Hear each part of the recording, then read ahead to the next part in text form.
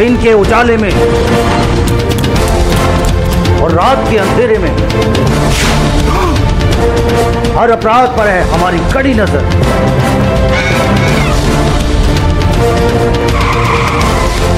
जुर्म की हर खबर से कराएँगे आपको रूबरू।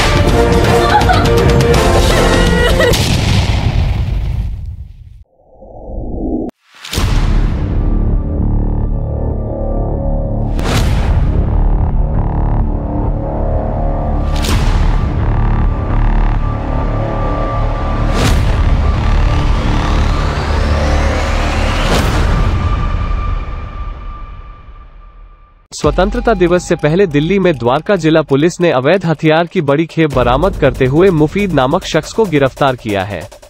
यह पुलिस को चकमा देने के मकसद से गुब्बारा विक्रेता बनकर गैंगस्टरों को हथियारों की सप्लाई करता था। आरोपित से पूछताछ में पुलिस को पता चला कि स्वतंत्रता दिवस से पहले अपराधी दिल्ली में बड़ी वारदात अंजाम देने की ताक में थे, जिसके लिए उन्हें हथियारों की ज़रूरत थी। लेकिन, इसके पहले कि यह खेप अपराधियों तक पहुँचती, पुलिस के हाथ लग गई।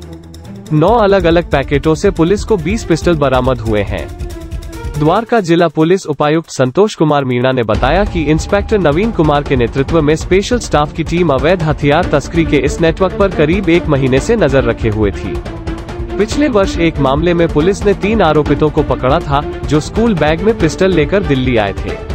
तमाम जानकारियों के बीच हेड कांस्टेबल रसमुद्दीन को सूचना मिली थी कि 6 अगस्त को तस्कर हथियार की सप्लाई करने जाफरपुर में घुम्मनहेड़ा मोड़ के पास आने वाला है।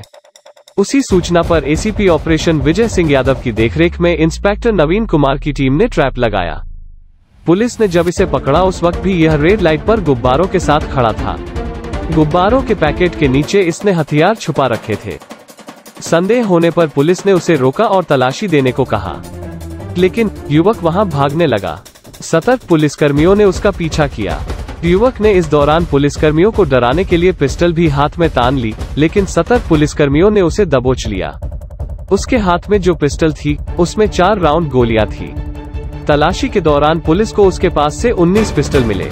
सभी पिस्टल बैलून के पैकेट में छिपाकर रखे गए थे। पुलिस के अनुसार आरोपित मुफीद उत्तर प्रदेश के मथुरा स्थित चौकी बांगड़ गाँव का रहने वाला है। इसके खिलाफ कोशी कला थाना में हत्या के प्रयास का मुकदमा भी दर्ज है।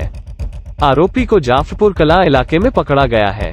पुलिस अब आरोपित से पूछताछ कर यह पता करने में जुटी है कि यह खेप किस बदमाश को सौंपी जानी थी और अभी तक किसने दिल्ली में कितनी बार पिस्टल की खेप पहुंचाई है। मामले की पड़ताल जारी है। डीसीपी ने बताया कि हथियार सप्लायर्स की चेन को तोड़ने के लिए लगातार स्पेशल स्टाफ की टीम धरपकड़ कर रही है। इस अभियान में अब तक सात लोगों को गिरफ़्तार किया जा चुका है। तैतीस हथियार बरामद हुए हैं। सनसनी ऑफ़ इंडिया नेटवर्क क्राइम कहीं भी और क्रिमिनल किसी भी भेष में हो सकता है। रहे हर पल चौकस और साथ ही क्राइम की खबरों से अपडेट रहने के लिए सनसनी ऑफ़ इंडिया यूट्यूब चैनल को सब्सक्राइब लाइक और शेयर करना न भूलें।